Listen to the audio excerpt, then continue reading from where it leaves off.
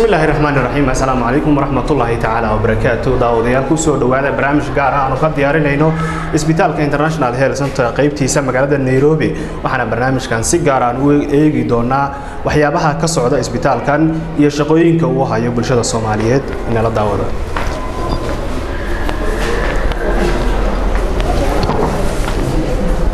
caafimaadku waa qaaliyaan cidi ka maarmayne caga laguma rooran haddaan caafimaad jirine. Cala lama shaqaystaan gacmonawsha caabiyeene cadrad baan aroos loo dhigeen lana cayareene cuud lama dheqdeenoo adduun laguma ceesheene indhaa kuma caddayseen dhulkoo cirar ma eegteene dhagcadilaan codkaba aan maqlayn kuma cawayseene dhagcadilaan codkaba aan maqlayn kuma cawayseene cilmigiiyo tacliintaasi baad cayna barateene. Carabkoon fayoobayn warkiyo juuqma ceeliseene. Ciddii jabaan daraaddeed hurdada waad ku carataaye isbitaalka international health center ayaa waxa uu ku yaalaa magaalada nairobi gaar ahaan xaafadda soomaalida ay degto islii waxaana ka howlgala dhakhaatiiro ku takhasusay cudurrada kala duwan. Isbitaalka ayaa waxaa ka howlgala dhaktar cali mucow aweys oo ku takhasusay cudurrada guud gaar ahaan cudurrada uurku jirta isagoo xirfadda caafimaadka ku shaqaynayay ku dhowaad afartan sano.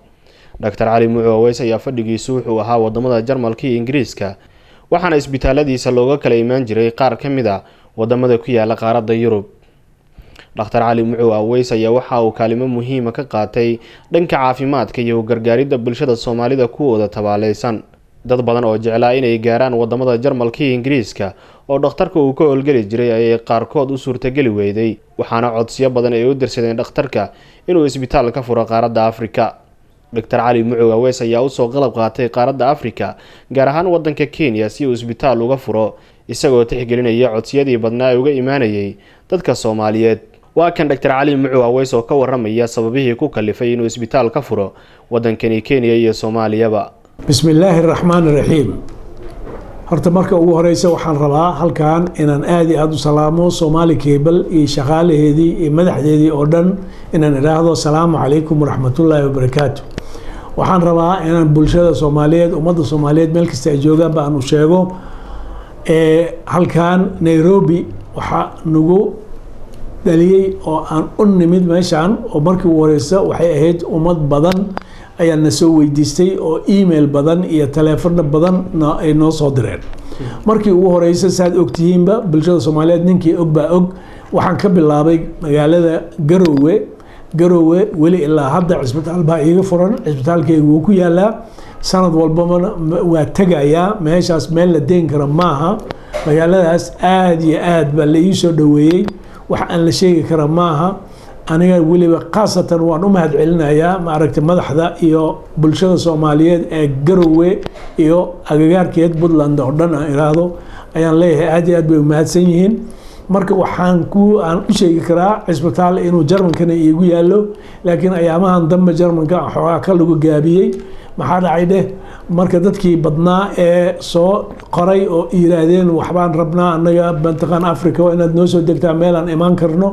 Marka kenya ayaan markaa ku gaarnay go'aan ku gaarnay. Markaa kadib kenya ayaan qalabeeyey qalabo badan baan keenay oo baaritaan badan lagu sameyn karo. Marka kenya nairobi magaaladan mataqaanaa cisbitaal hadda weliba waxaan wadaa haddii ay ilaahay uu nagu garab galo inaan cisbitaal fiican lagu qalo ama ilmaha lagu abuuro i v f ka waxaa la yidhaahdo aan ku sameyno qalitaan qaarkood carruurta dhalitaanka wax walbaaba inaan meeshaas aan sii badino taasna hadda waa ku tala jirnaa sanadka cusub hadduu alla idmo. Waxaa kaloo rabaa inaan bulshada u sheego sanadka soo socda hadduu alla idmo inaan muqdisho imaan doono.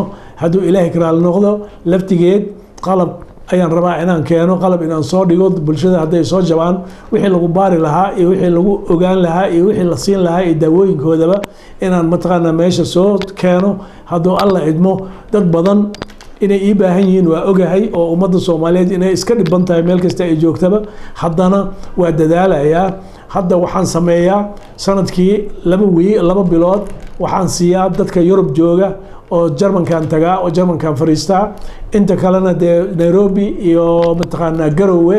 Haddana waxaan rabnaa inaan ku darno magaalada muqdisho hadduu alla idmo sanadka soo socda waxaan rajeynayaa laftigeeda inuu ilaahay noo fududeeyo oo si fudud ilaahay inoogu sorogeliyo inaan ummadaas meesha aan ugu faa'iideyn karno inta noo hartay inaan u faa'iideyno hadduu alla markii hosbitaalka international health center uu bilaabay howlaha u adeegidda bulshada soomaaliyeed ayaa waxaa dhaktar cali mucu aweys u suurto gashay in ilaahay gacantiisa dawo ugu daro dad badan oo la tacaalayay cudurro kala duwan.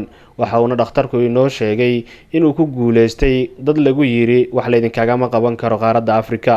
Isbitaalka uu ka howlgalo dhakhtarka ayaa waxaa ku dhan qalabyadii isbitaalada caalamiga loogu talagalay waxaana qalabyadii ugu dambeeyey isbitaalka la keenay ka mid ah tubooyinka lagu baaro cudurrada ku dhaca caloosha dadaal badan ayay ku bixiyeen dhakhaatiirta hormuudka u yahay dhaktar cali mucu aweys. Sidii ay ula tacaali lahaayeen dadka la il daran xanuunada kala duwan ee soo gaara isbitaalka international health center. Wuxuu shaqaynayaa isbitaalku afar iyo labaatanka saacadood iyadoo dhakhaatiirtuna ay diyaar u yihiin la tacaalidda bukaanada soo gaara isbitaalka. Dhaktar cali mucu aweys ayaa ka waramaya dhibaatada ka imaan karta daawooyinka layska isticmaalo iyadoo dhakhtar uusan qorin ummadda soomaaliyeed meel kasta ay joogto waxaan leeyahay war daawooyinka iska ilaaliya. Adigoon dhakhtar fiican aadan arkin. Daawo saas fudud ha u qaadane ha yaraysane dhakhtar u tag marka shilimaadka ma aragtay ee lagugu daaweynaya wax weyn maaha caafimaadkaaga ka muhiimsan. Marka kharash keliya ha fiirine ummaddii soomaaliyeed waxay ay necban tahay inay isbaarto ma jecla anagana habeen iyo maalin shan iyo toban sano hadda telefishinaan hadlaya anuu sheegaya war isbaar baaritaanka markaad samayso ciladii baa la helaya cilada haddii la helo waa lagu daweyn karaa horta daawooyinkan la qaadanayo marka ugu horeyso dhibka ku geysanaya jirkaaga markii ay caloosha ay kaa qalajiso beerku wax kaa gaarsiin karaa keliyahu wax kaa gaarsiin karaa jirkaagii kale murqahaagiibuu wax gaarsiin karaa murqahaagii ayaa dhammaan kara. Marka wax wanaagsan maaha. Daawada waa sun. Haddii jirkaaga una u lama qaadan karo. Waxaa laga yaabaa marka kaniinka a qaadato inaad xoogaa dareento relief uu kaa dego. Laakiin degitaankaas aan u malayna wax wanaagsan inuu yahay. Dhibaato markaas iyo wixii kabacdi ku bilaabanaysa mar walba waa daldalaysaa. Waa mar ku fiicnaatay xoogaa aad dareentay inuu fiican yahay. Qalab qalab. Marka ninka dhakhtarka ah wuxuu marka hore hadiiba uu aqoon u leeyahay waxaan calooshan iyo hadiiba urku jirta uu si fiican aqoon u leeyahay. War waxuu kaa ilaalinayaa mar horta hore haddii baaritaan xoogle inuu ku geliyo uu ku fiiriyo oo kaa fiiriyo dhiigga uu kaa fiiriyo caloosha uu kaa fiiriyo maaragtay beerka ganaca xamiitada iyo kulli inuu kaa fiiriyo intaas markuu ogaado ayuu ku siin karaa dawo adiga kuu qalanta ee aad ku dawowdo toban beri shan iyo toban beri ama labaatan beri daawadaas haddaa qaadato finish adiga boqolkiiba boqol baad naqan. Caafimaadku waa qaaliyaan cidi ka maarmayne caga laguma rooran haddaan caafimaad jirine. Cala lama shaqaystaan gacmonawsha caabiyeene cadrad baan aroos loo dhigeen lana cayareene cuud lama dheqdeen oo adduun laguma ceesheene indhaa kuma caddayseen dhulkoo cirar ma egteene dhagcadilaan codkaba aan maqlayn kuma cawayseene dhagcadilan codkaba aan maqlayn kuma cawayseene cilmigiiyo tacliintaasi baad cayna barateene carabkoon fayoobayn warkiyo juuqma ceeliseene. Ciddii jabaan daraaddeed hurdada waad ku carataaye dhanka kale doctor cali mucu aweys ayaa waxa uu noo sharaxayaa qaabka loogu baaro tubada caloosha waxaana goobjoog u ahayn mid ka mid a bukaanada soo gaaray isbitaalka oo lagu baarayay tubada. Waa kan doctor cali mucu aweys oo inoo sharaxaya qaabka ugu habboon ee loogu baaro tubada caloosha.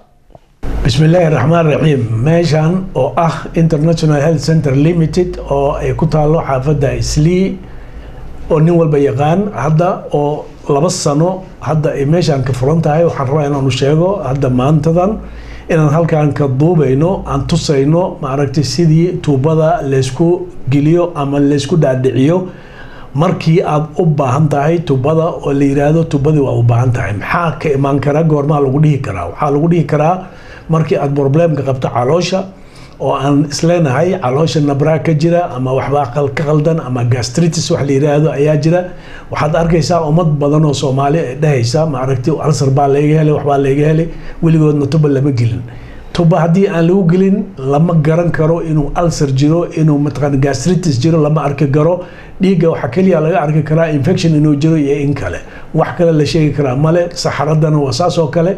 Laakiin cid ku dhigi karta caloosha waxaasaad ka qabtaa oo toos ah kuu sheegi karaa ma jiraan. Laakiin waa jiraan in lagu dhihi karo bacteria jira oo caloosha ku jira bacteriahaas oo h. pylori bacteria campylobacteria la yiraahdo oo tubada markii lagu geliyo laftigeed la baaro oo la heli karo. Waxaan rabaa halkan inaan tuso aniga iyo dhakhtarkayga gacanyarahayga sharma arke doctor sharma arke nin kasta waa yaqaanaa soomaalida way taqaanaa. Hadda laba sano ku dhow meeshaan joogo. Aniga asagaba hadda waxaan ku jirnaa tuubadii laysgelinayay ayaan ku dhex jirnaa. Waxaan rabaa hadda inaan idin tuso sidaan tubada u gelinayno ee siday u gelayso iyo sida loo shaqaynayo dhan.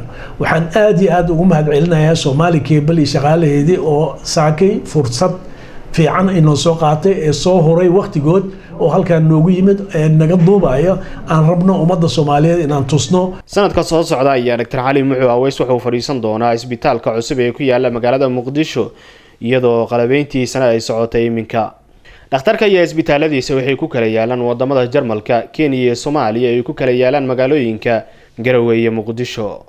Caafimaadku waa qaaliyaan cidi ka maarmayne caga laguma rooran haddaan caafimaad jirine.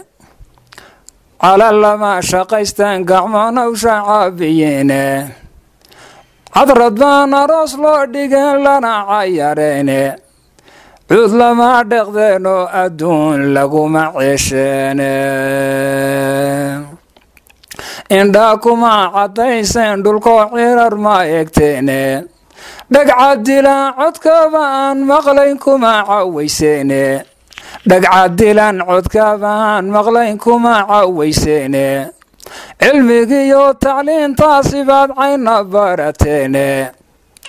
Carabkoon fayoobayn warkiyo juuqma ceeliseene guud ahaana daawadayaal intaas ayaanu ku soo gebagabeyneynaa barnaamijkii gaarka aanu ka diyaarinaynay isbitaalka international health center oo ku yaalla magaalada nairobi iyo waxqabadka uu hayo bulshada soomaaliyeed. Barnaamijka waxaa soo diyaariyay halkan idinkala socodsiinayay anigoo cabdulaahi axmed cali dib intaanu kulmi doono barnaamijkan la mid a sidaas iyo nabadgelyo